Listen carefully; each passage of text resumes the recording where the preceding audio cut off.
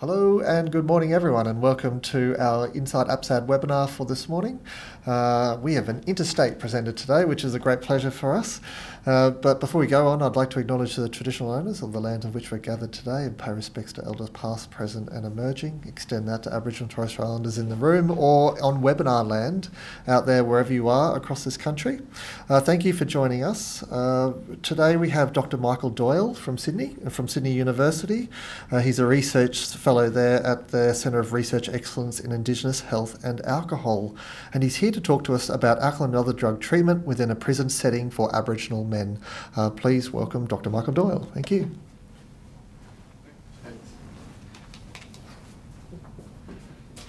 Uh, good morning, everybody, and uh, thanks for that introduction. I'd like to also acknowledge the traditional owners of the land upon which we meet today and uh, say hello to any Aboriginal Torres Strait Islander people that may be joining us here in the audience or, or out there in webinar land as well. Uh, I'm a researcher, as, as uh, uh, Jeff said, at Sydney University. And so today I'm talking a bit about my PhD. Uh, there'll be uh, four lots of data, if you like, from this, and that'll be the firstly, we'll have an overlook at uh, drug and alcohol use issues within the population, Aboriginal imprisonment as well. Uh, and then uh, look at the both the Aboriginal and non-Aboriginal uh, participants, and then a specific look at what the Aboriginal guys said in it during my PhD uh, research. So. Uh, as is the case with uh, qualitative work, we do introduce ourselves so you understand the paradigm from which we're sort of analysing the data.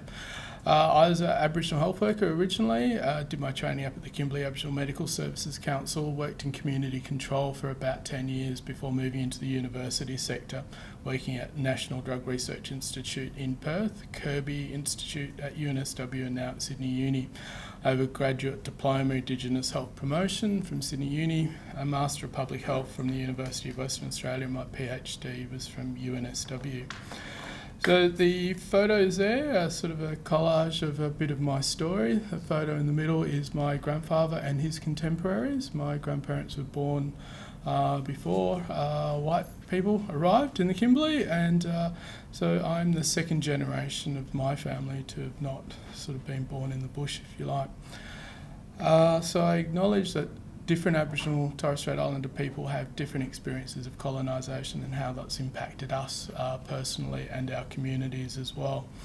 I visit my community quite regularly, but I live now in Sydney, which I sort of think of as home. I've been there about 10 years. Uh, I won't go through all of those, all of the photos there, but I will mention my mum's sister. My mother passed away. This is a photo down on the bottom right hand corner. Uh, and as is the way for Aboriginal people, uh, my mum's younger sister took that role as, as sort of uh, the mother in our family. And that was my graduation day, and uh, mum Benny sort of got the plaque and held it up and pretty much ran around like it was a, um, I know, it was like a grand final win or something. So it was, um, it was the, it was fantastic having her there for that.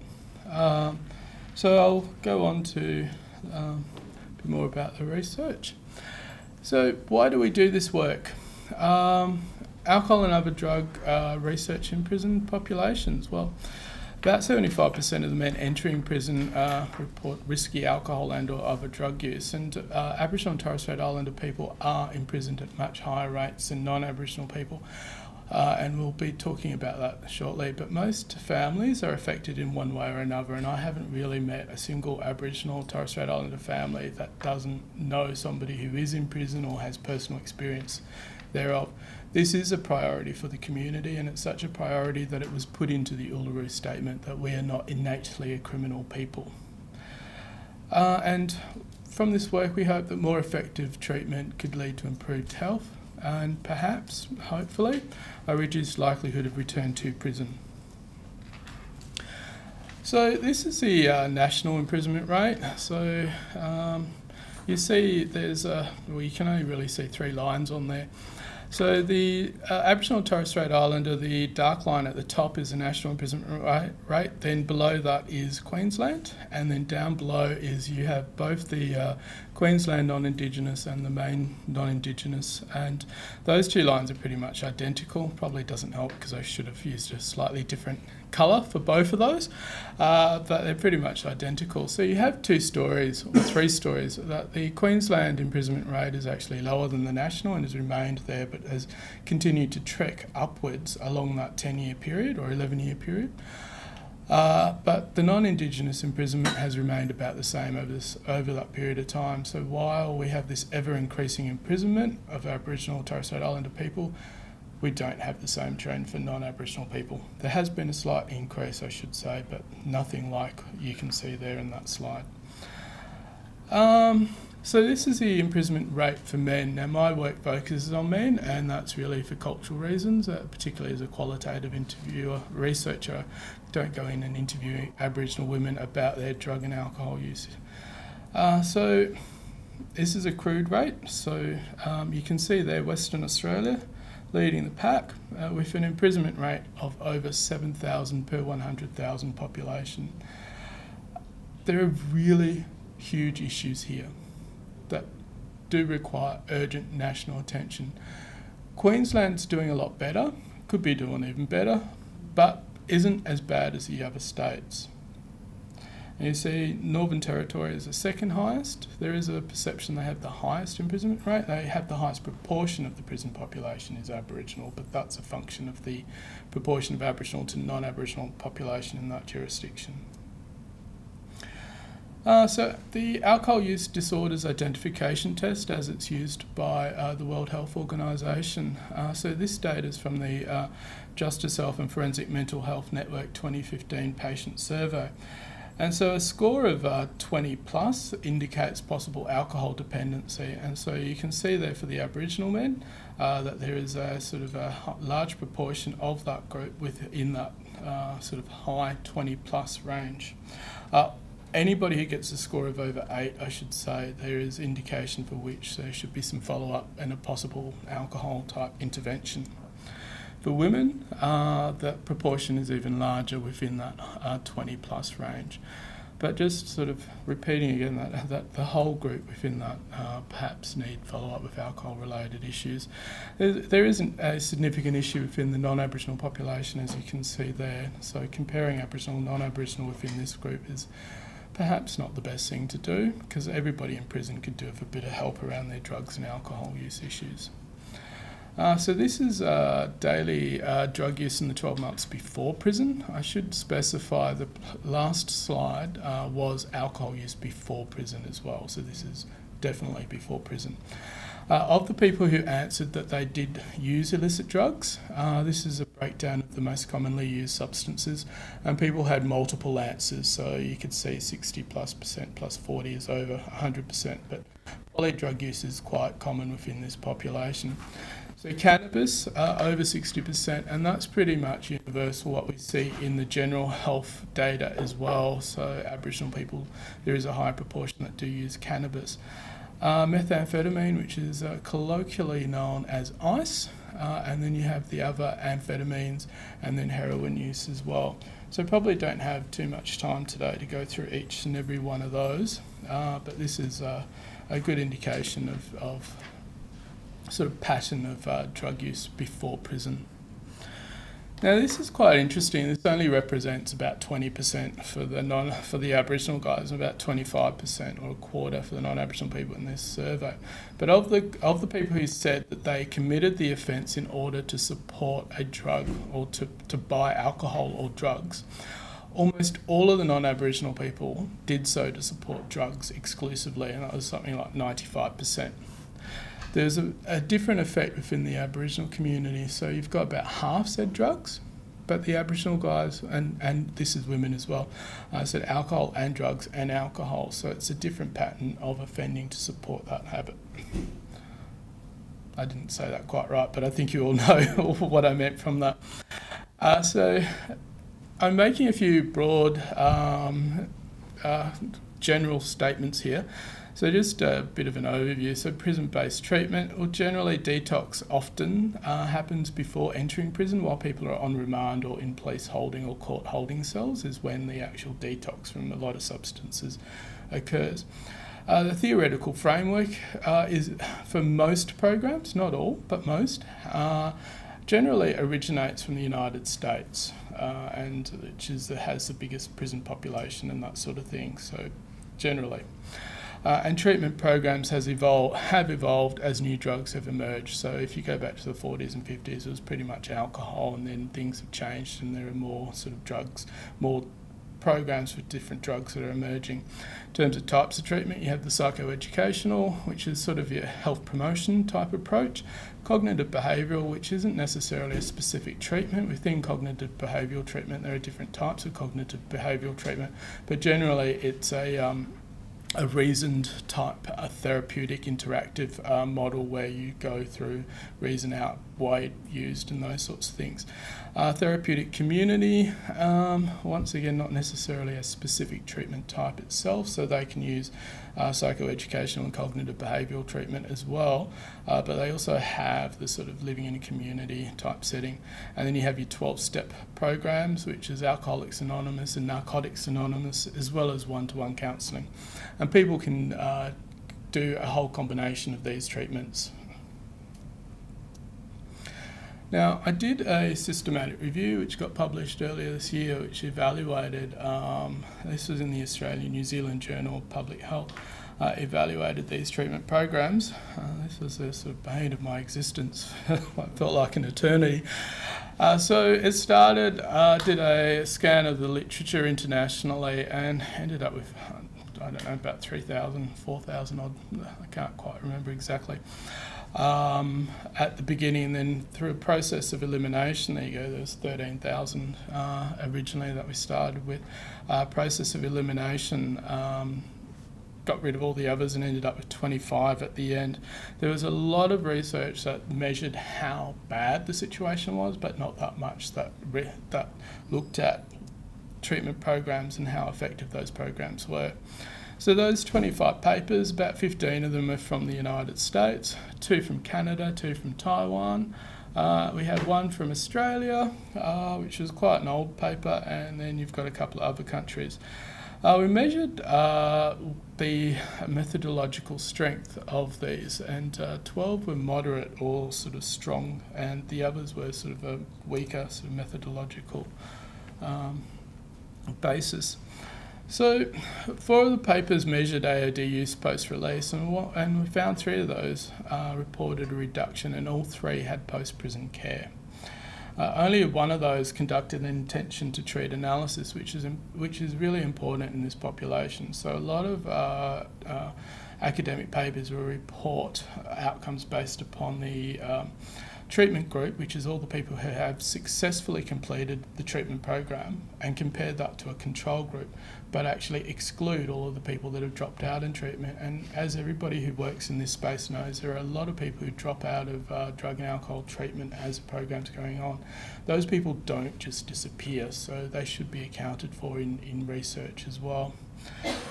Uh, similar findings ultimately to the uh, previous reviews, and that was uh, although I'll say that neither of those, or three reviews there, uh, assess the methodological quality of the papers.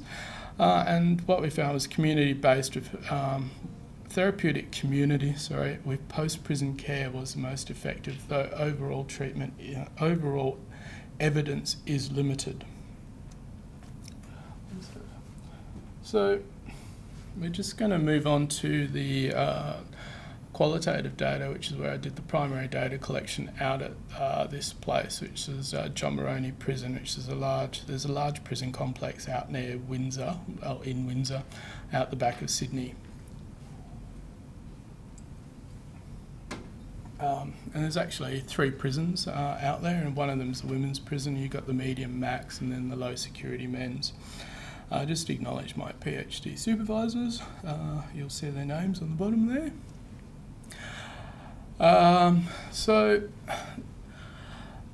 I interviewed 17 non Aboriginal and uh, 14 Aboriginal guys, and nobody identified as a Torres Strait Islander, so I do just say Aboriginal within this data set. Uh, voluntary participants at a six month treatment program, so they're about to start this uh, intensive drug and alcohol program, but this was done before they actually started that, so this was about uh, treatment they'd undertaken before then, and did a thematic analysis of those interviews.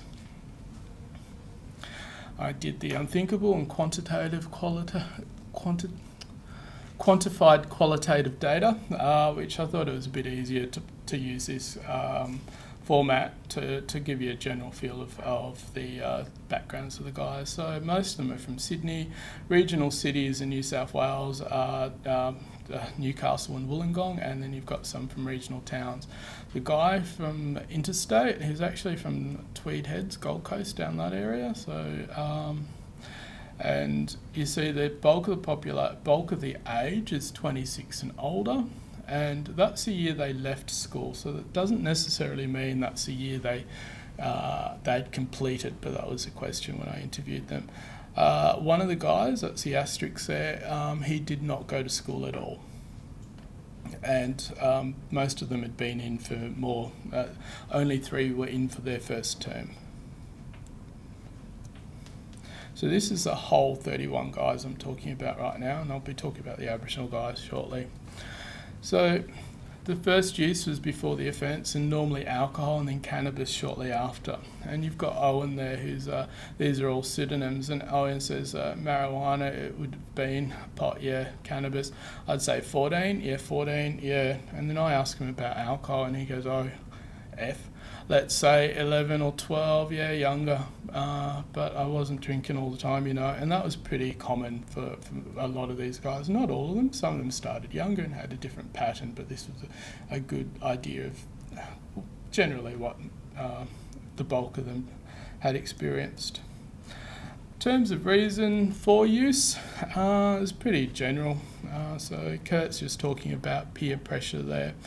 Uh, and he's remembering back, and his mates basically said, "You want to try this?" And um, yeah, I won't read all of the statements verbatim, um, but you get the idea from what Kurt's saying. In terms of uh, supply of alcohol, that was often by family members, and illicit drugs was more by friends or sort of opportunistic um, Lee, uh, he was talking about drinking after a football game. I think was the first time he'd been playing rugby or something or league. Um, and so he just said it was fun, bro. It was fun. Uh, all the adults done that, and yeah, bro, all the adults drank. Uh, Lee was Maori background, I think, and he, he along with the Koori fellas, tended to call me bro during the interview. Um, and so it was just kind of the normal thing, and he got in, had a drink with the with the uh, older men in his family. So John, um, this is a good example of once out of school. Um, he didn't get along with the teachers, so he left school. But that's when uh, he started uh, using cannabis and alcohol a lot more. He did it a bit before school, but not that much. But once out, it just increased sort of exponentially. Uh, so in terms of heroin and amphetamine use, um, began late teens or early 20s. So um, John, again, this is the same guy from the one before, and he'd been drinking and that, and um, I'll just pick up from the middle there. He'd go, we'd go travelling from Bondi to Coogee and Maroubra. We just used to drink a lot, and then I started smoking pot around 16, and then yeah, I didn't touch heroin or anything until I was 20. I came to jail. He didn't actually start heroin use. He didn't use for the first time in jail. Uh, but he went to jail shortly afterwards. But there were cases where people said that they had used for the first time once they'd gotten into jail. And Dave there's talking about um, his ice use and that he went from uh, marijuana, uh, drinking, using those together, heroin, and then he stopped uh, drinking marijuana. He was only on the heroin, and then when he started ice, he just focused on that. And so later, as their drug use progressed, um, they tended to be quite exclusive in the drug that they would use and put all their resources into that. So they just buy the one drug whenever they could, although they would use what was available as well. Um, so this has been described elsewhere. It's a cycle of offending, and people sort of do the events to get the drugs, and they have unpleasant feelings and symptoms, and then the cycle starts again. But um, when we look at uh, some of the reasons for offending, Jay there wasn't actually on drugs at the time, and he was very specific about that. He was coming down from drugs. He'd used drugs a day or two days before, uh, and he'd sort of been trying to catch a train and this young fella, I'll start reading there, this young fella staring at me, and I was pissed off to the max, you know, so I cracked him. So, yeah, no, drugs were, weren't actually involved with me crime, but I don't know, maybe if I wasn't on drugs.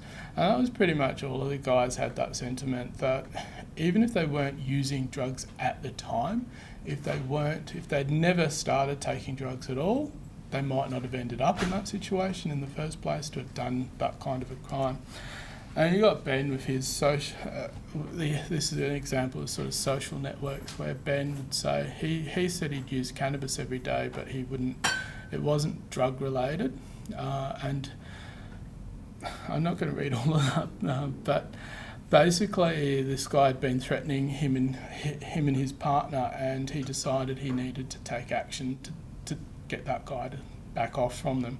But he's, he went on to say that if he wasn't involved in any of the drugs at all or that whole world, he just wouldn't, that situation probably would never have happened. So, in terms of to support uh, support drug use, you've got Kurt, and this is sort of, I guess, the more stereotypical that we would hear through uh, sources. Uh, Kurt basically stole to support um, his drug use when he was really hanging out to go do things he wouldn't normally do um, to support that. And this was for the guys in Sydney. Only the Sydney fellas um, talked about having to commit offences to support the cost of living. Now, I don't know what that's like here in Brisbane or other parts of Queensland, but Jim was talking, he's on the housing list, it's like three, sorry, it's about $600 a week for a one bedroom unit in Redfern. Uh, and uh, so it, there is a real issue around that sort of cost of living pressure in that city. So, talking about the sort of treatment uh, now. So, uh, one of the guys had never been to AOD treatment before, so you sort of wonder how you end up in a uh, possibly the most tertiary of tertiary treatments in a prison based six month drug and alcohol treatment program if you've never done anything before then. But that's um, that was his situation. For the guys, uh, they were all pressured by family members to do something before they got involved in the criminal justice system. And all of the others, their first time they ever attended any kind of treatment was when they were arrested or the court ordered them to do something or they were in juvenile detention or something.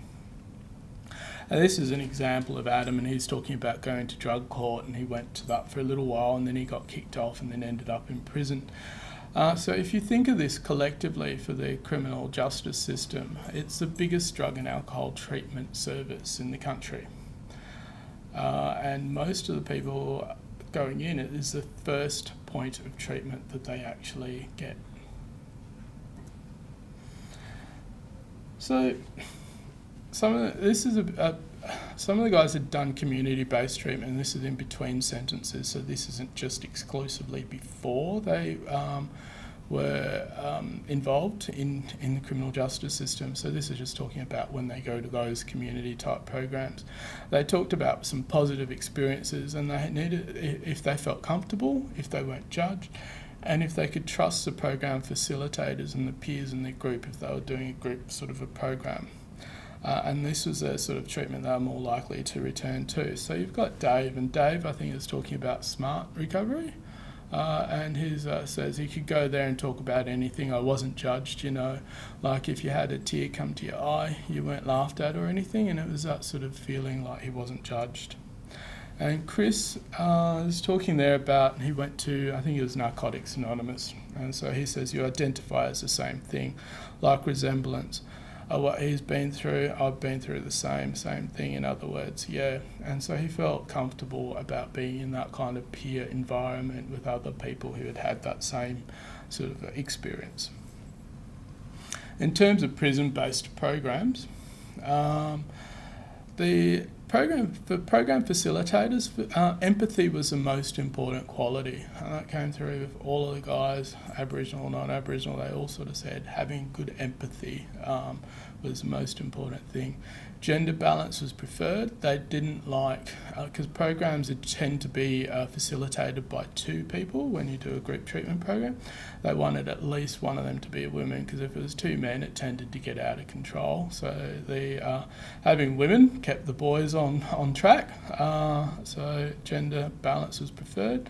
Some lived experience. Uh, so if somebody is, uh, and has no lived experience, sometimes they have a very limited credibility in the prison, so they don't know where somebody's coming from and they just get dismissed. Um, I'll come back to that in a, in a little while. Uh, and confidentiality, uh, which comes through as a feature. So, real or perceived breaches of confidentiality are quite damaging because it's a closed community and gossip's a premium.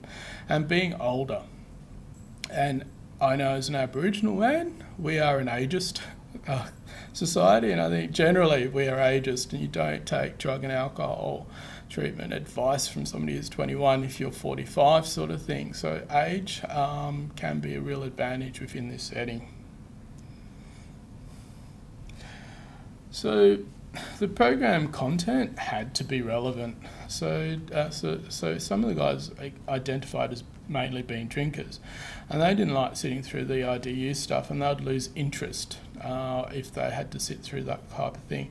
And it had to be practical and useful. And you've got Ed there; he's one of the Koori fellows, uh, and he's talking about um, getting on drugs and working out. Um, if you had a pouch, you had to pay somebody back a pouch and you wanted to use, and, and working all those things out and what you could do with the money instead. Um, I'm thinking pouches, uh, um, cannabis, um, but being really practical and ha- and having thinking through those things was an important thing with program con- uh, program content. Uh, having a supportive group is critical, and trust can be a problem. You've got Jake here, and uh, and he says so. You know, there's a lot of boredom, frustration, and sometimes you get people that like to tell tales and talk behind other people's backs other people's back or talk about someone else in order to make themselves feel better for whatever reason. But the only thing that you you do become a bit wary of, I suppose, is how much you talk about and what you say when you're in the group because because we're living with other inmates, you know. My philosophy is you can't really afford to trust anyone in here. And so it's really, really, uh, if you have people in a, a treatment group that aren't talking much and people don't trust them, the entire group can be sort of closed down from that. So being really aware of, of, of how sort of involved people are within within the treatment is a good thing. Uh, so there's a lot of other data in here, but we only have an hour, and I'm sort of uh, going on quite a bit now. So, uh, so I'm going to go to this co-facilitation model, which is where the research ended up arriving at. And so most programs are co-facilitated, and this is we've got Owen here who's talking about um, what he thought, but the overall idea in the end was that if you had a really well trained university sort of person and somebody who had more peer experience, uh, them co-facilitating. Now that's not excluding that somebody who is a peer can go through university and do those things, and I do know people in that situation. But that was the context upon which these the guys I interviewed sort of saw it as you're a peer or you're a university trained person. And Owen's um, uh, most of you online may well have started reading that, but so I won't read it. But uh, Owen's talking about how important it is to have that combination, and there was this appreciation for the for having good technical knowledge. If if somebody asked you a question about different aspects of, of addiction, and having somebody who can say those things, but also having somebody who's who can talk about, well, I gave it up 20 years ago or something, and and talking from that perspective. That was where that that sort of landed. Now I'm gonna, we're going to look at, at the Aboriginal uh, participants specifically now for a couple of slides. So, alcohol consumption, um, lots of drinkers in their families, it was normal. And some spoke of intergenerational alcohol use, and this was whether they were or were not drinkers themselves. So the guys who identified as being drug users, they still grew up within a very dysfunctional uh, environment in lots of cases. And Bill's talking there, well, my family, my dad, he's a drinker, he's a drinker, you know, and my mum was a drinker too. My pop was a drinker, my uncles, my family, I grew up all around, all around that. You know what I mean? And yeah, that's about it. And that was uh, a lot of the guys had sort of similar stories to that. And you, I've got Neil here, like my father, he had a problem with alcohol. So did his father, yeah. So over the years, there's been a lot of, yeah, you know, alcohol, you know, domestic violence related to alcohol, but mainly just alcohol. And this actually meant that some of the guys chose not to drink and they decided to to uh, use heroin or something else instead because they were so sort of put off from the dysfunction they'd seen uh, from alcohol use within their families. Um, so drug use. So they used to block out emotional turmoil, financial difficulties, and stress of family conflict. So Ian's talking about heroin. Um, I won't lie, I loved it. You know what I mean. It's the ultimate. It's the ultimate drug. It takes away all your problems. He goes on to say you should try some, bro. It's really good. Um, so didn't take him up on that, but um, he recommended it if I was stressed to take that. Maybe something about doing a PhD. He could see I was a bit stressed. Um, so it's it's this it was sort of a force field. One of the guys talked about if you've got lots of stresses, you take this and, and it feels much better. Uh, particularly heroin, actually. Uh, amphetamines it sort of is a different distraction altogether, but heroin you just chill out, doesn't worry, you don't worry about things. So several said they used AOD to function normally. Uh, so this is a sort of this is interesting. So if they didn't, racism wasn't explicitly uh, questioned, uh, wasn't a specific thing that I asked them. But reading through this, and when I was sitting there looking at the data, the idea that you, as an Aboriginal man, need to take something to be able to walk down the street in this country is a bit strange, isn't it? Uh, and it really could be an indication of that feeling of racism and stigmatisation, particularly against Aboriginal men. And I know personally what that feels like. Um, and so that's possibly another area to look at for future research within this as well.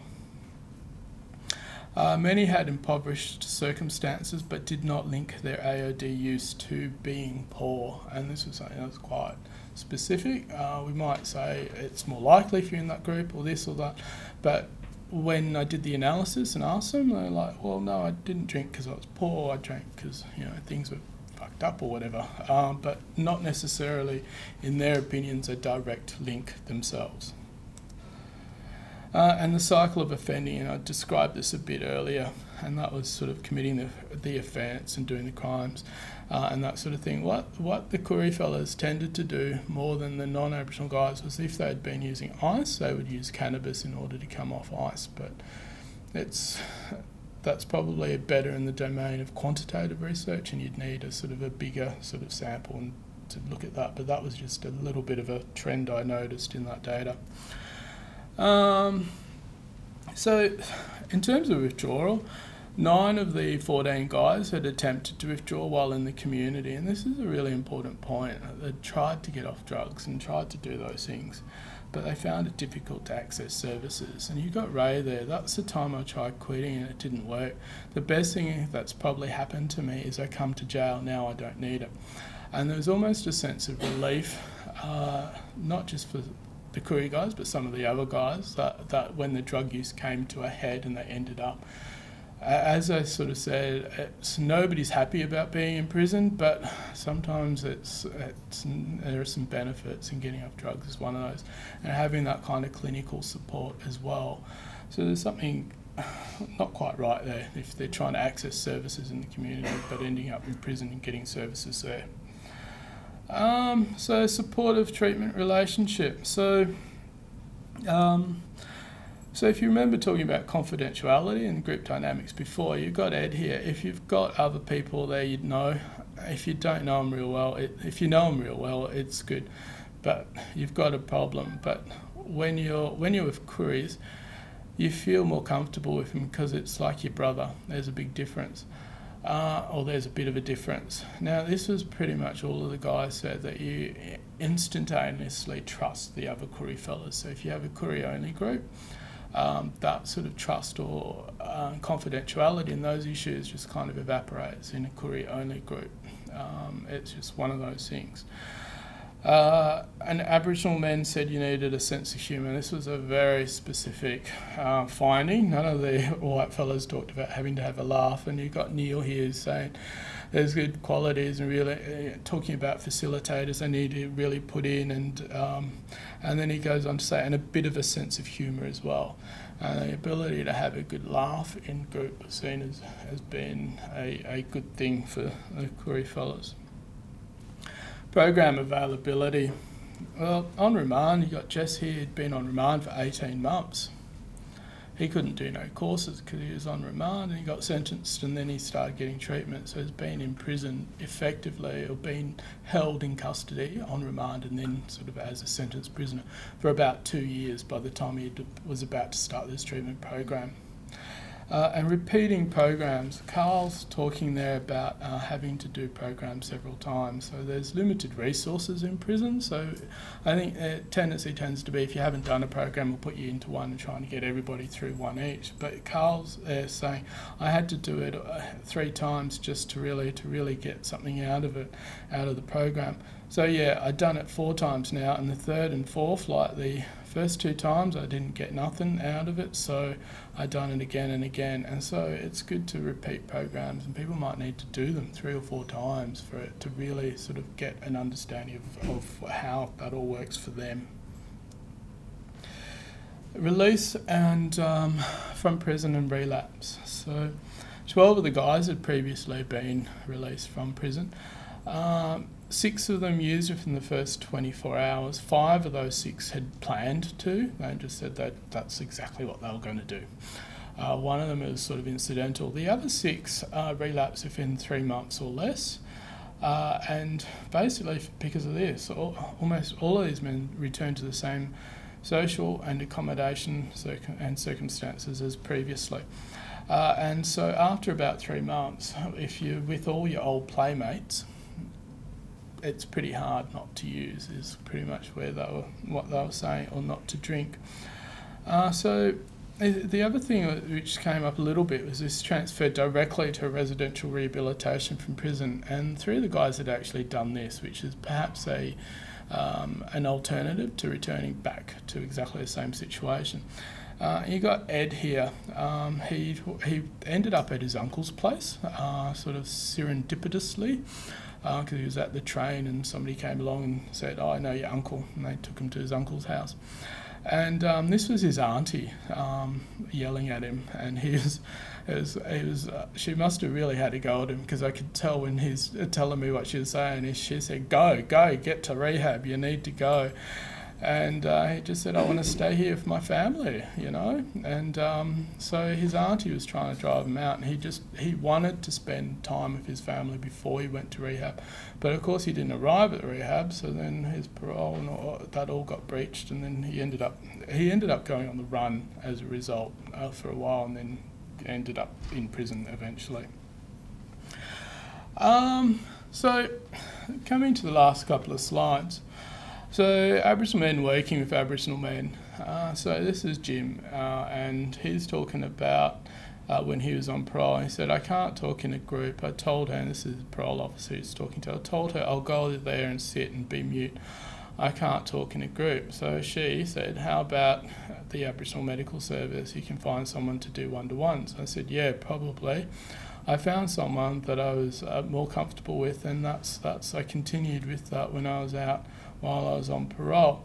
And he'd, he'd continued seeing this, and this guy I know, this particular um, Aboriginal um, drug and alcohol worker, he's an elder, and Jim is in, Jim is he went he reoffended, but he he he was like I want to go and see see this fella again. I'll be sort of mindful of confidentiality because I feel bad, and I, I, just I think if I see him, then that'll help. And and it was just this whole different dynamic. And this was a younger Aboriginal man who was seeing an Aboriginal elder, who was his um, drug and alcohol counsellor. And so there really is some advantage, I think, for Aboriginal men working with Aboriginal men. So one of the challenges for the future, um, I would say, is is this as well, and this comes through quite clearly, and this is something I think we talk about. And the only dream was football. Uh, so when I talked to the fellas about what they wanted to be or what they ever dreamt of, the only thing they could ever imagine was playing football. And you've got Jim there. Now this isn't a bad thing, and you know we do really well at league, and and I'm more an Aussie rules fella, um, but not everybody's going to make it. And I know there are training academies and things, and yeah, you might get into those things. That's, and if you do, that's really good. I'm not having a go at that. But reinforcing the need to, to have a plan B um, and to, to be able to get skills to do something else. Because even if you do make it, you might not, you know, you retire at 30, 35, that's it. Um, so I think as a community, I would say we need to think about not just football. Football's great, but something else as well. So summary. Uh, so high incarceration rates, Aboriginal and Torres Strait, high incarceration Aboriginal and Torres Strait Islander people. Um, so alcohol and other drug treatment programs are needed. So clearly there's a high level, 75% uh, use of drugs and alcohol. Program facilitators need good empathy and confidentiality is, is critically important. Group dynamics, trust and confidentiality within group are really, really important or the whole program just kind of breaks down as the guys were saying. And for the future, I think maybe more Aboriginal men working with Aboriginal men on their drug and alcohol issues. Uh, and I put their challenge for the future for us as a community, and I call it, well, football is great, but what about a plan B? Um, so that's it for me. I don't know if you want to leave on that slide or we can go to the next one. Um, uh, thank you. Thank you very much, Michael. Any questions from the room?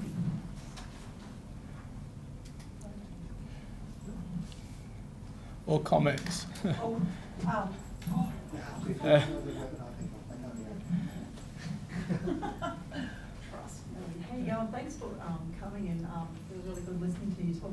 Um, my team, a few of my team members are here. Um, we're an Indigenous mental health intervention program that works in the um, women's and men's prison here in Brisbane.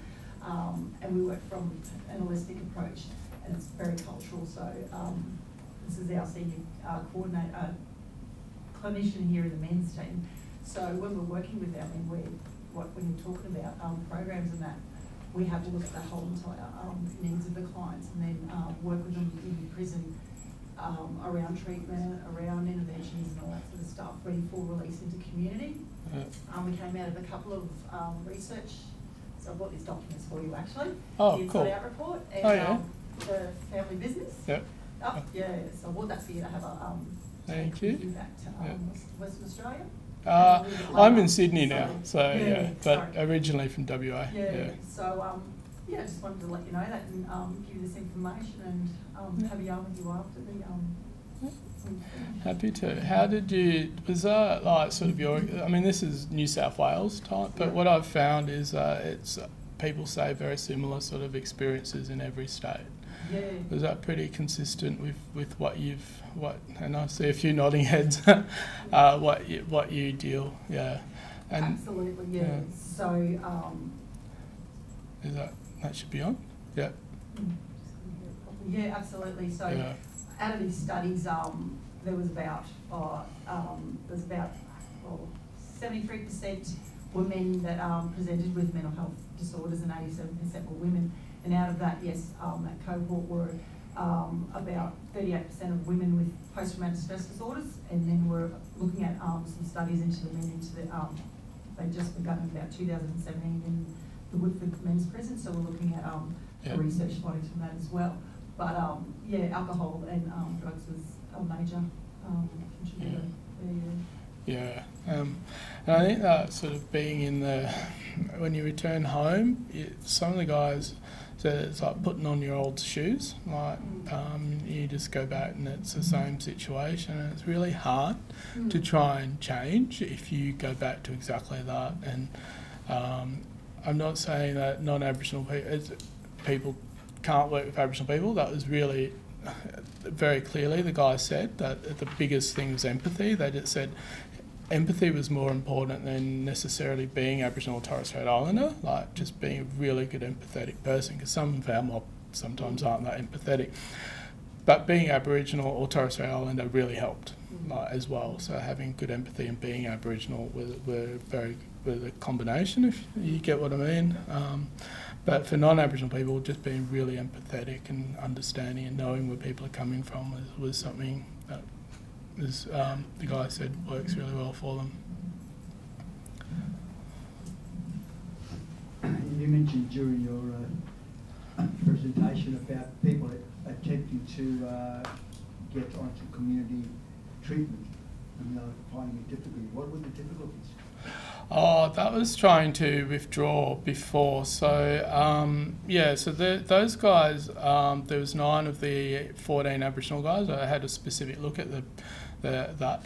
Um, basically, access to services, um, not being able to get into a detox when you you really wanted to, uh, and it's just not being available in some parts um, of New South Wales. So the guys and there's a different demographic with the uh, Aboriginal guys. About half of them are from regional New South Wales, only half were from Sydney, because that's pretty much how the population is. A lot more Aboriginal people live in regional areas, and there was some real difficulty with access to services, particularly in those areas. So it's not, I wouldn't want to quantify that because it's qualitative data, so I can just talk about their experiences, and, and that's, that's what they found. So possibly there's more research in that area to see how much of a problem that is. Um, but certainly when they went to prison, they could access services there.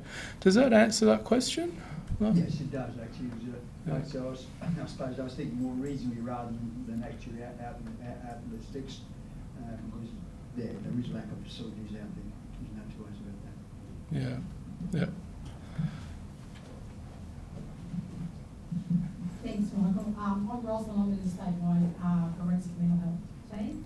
Um, my question to you is where do you go from here? Because I feel like with Queensland Health, we're all driven by evidence-based practice and research. So we're wondering what your next journey is going to be. Capture those important Yeah. conversations.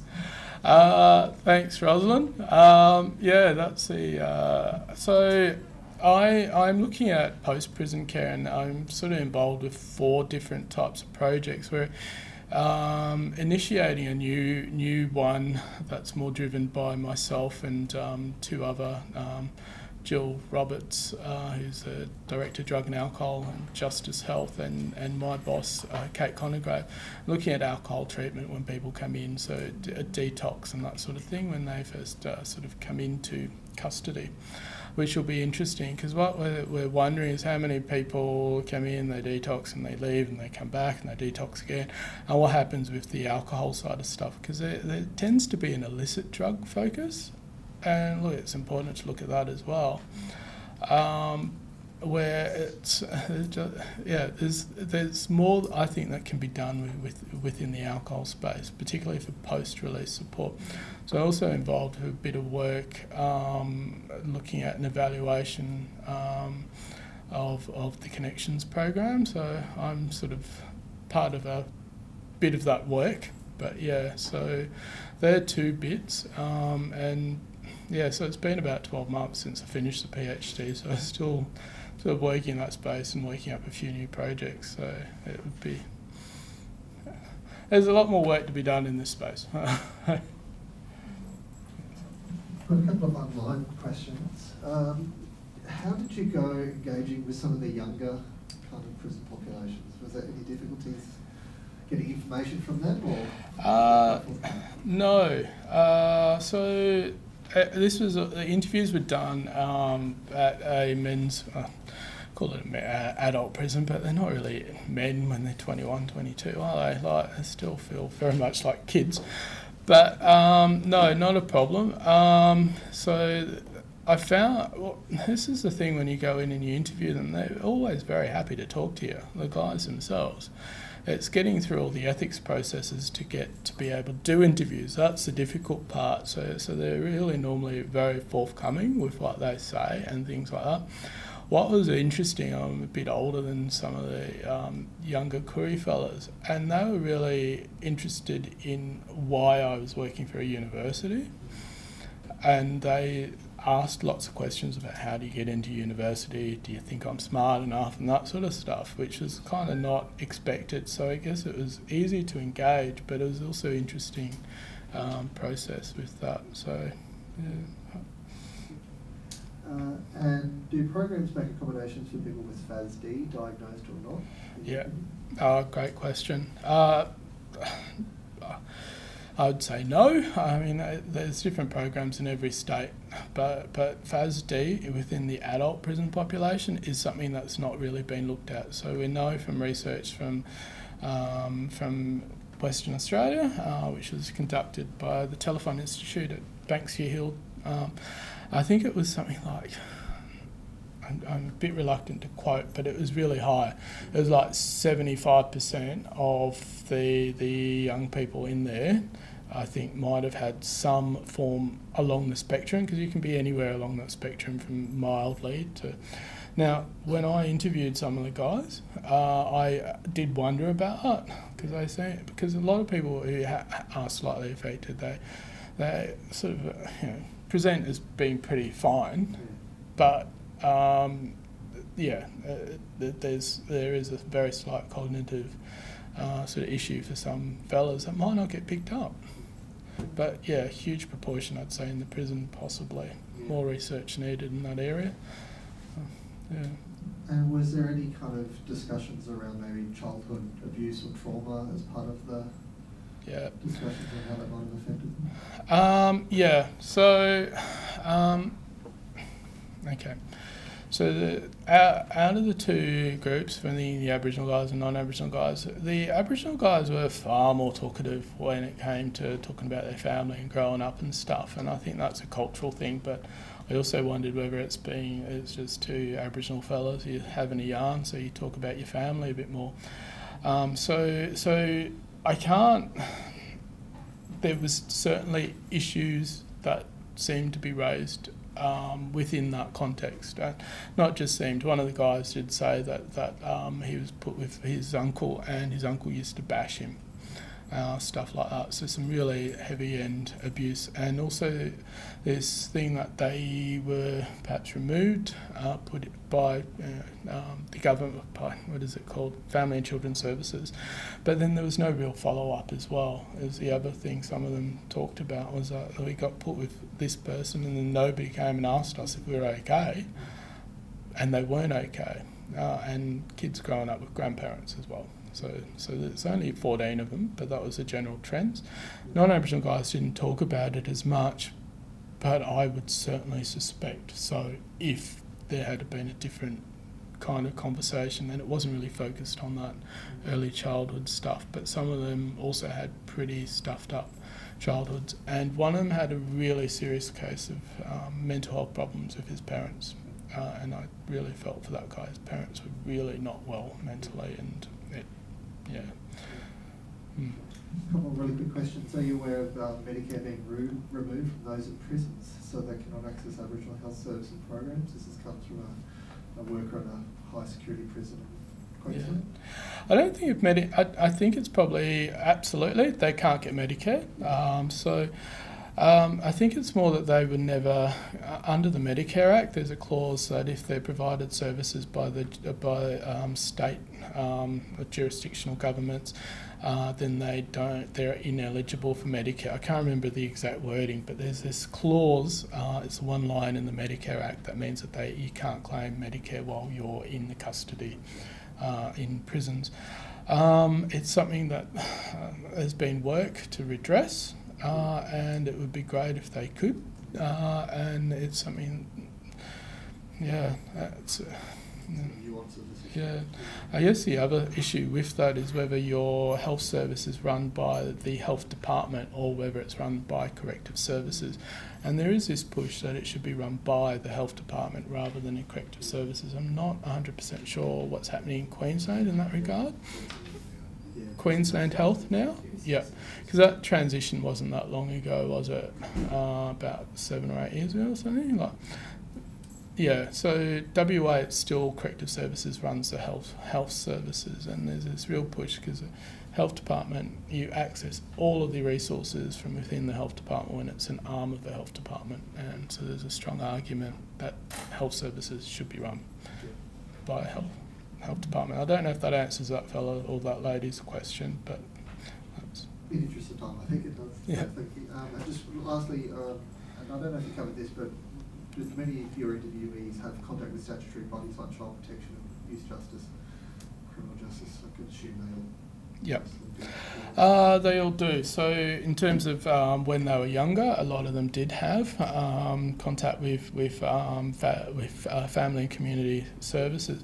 Um, they were very reluctant to talk about um, too much about their background. So, the question is, uh, you know, uh, uh, how, what were you? Do you have children? Like just starting the questions, and it became quite um, immediate when I did the first interview that they didn't want to say that they had children because they were worried about, and I figured it pretty quickly that they were concerned about family and children's services. So, so, so in the greater context of their family life, some of them, yeah, absolutely, there were issues involvement with multiple government departments, statutory departments, yeah. And lastly, since you're originally from WA, any plans to go back there and do projects? Uh, uh, no, n- no. Uh, uh, yes, in terms of yeah, I'd love to do some work in WA, but I do love living in Sydney now. Although I miss uh, every time I go home, particularly when I go up to Kimberley when it's cold in June. yeah, if I'm up there, uh, it's yeah, but. Um, yeah, I would. Most of my work's been in New South Wales, so I guess that's the other thing. I'd love to do more work else in other parts of the country. But thanks for the question. Well, thank you very much for sharing some of your time up here in Queensland and nationally through the webinar program. Join me in thanking Dr. Michael Doyle.